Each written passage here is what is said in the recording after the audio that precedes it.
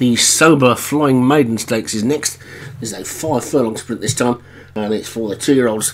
And at the top, we've got Boudoir France for CDJ Liggett, Golden Pal for Dan Hughes, Partnership James Shea, Royal Air Force Daniel French, Simon Templar, Paul Rhodes, Walking in Space Martin Dillon, Will Be King, David Hooley, Cap Team for Darren Thompson, Native Magic Obi Wan, Osmosis Alex Cherry, Pucian Very, Vinnie Gerard, City Feet Rod McClure, Spur Dog David Robertson, and Wiseman's Painting for Padraig Hogan.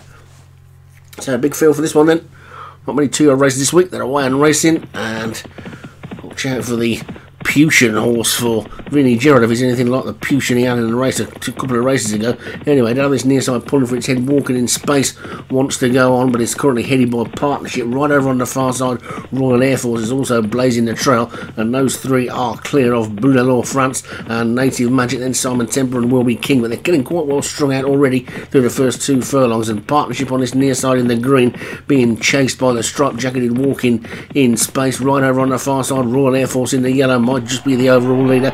Uh, Boudoir is on. Spurdog will be kicked. Captain team is still there as well. They're now beginning to swallow up these early leaders. There's a furlong and a half to go, and Partnership is hanging on in the lead. Walking in spaces next right over on the far side. Boudoir France, Spurdog. So Captain team as well. There's a bunch finished, and as they race into the final half furlong, it's Spurdog, Boudoir France, Captain team will be king. Simon Templar's finishing well. It's going to be a blanket finish. They flash past the post. You can pick your own out of that lot. And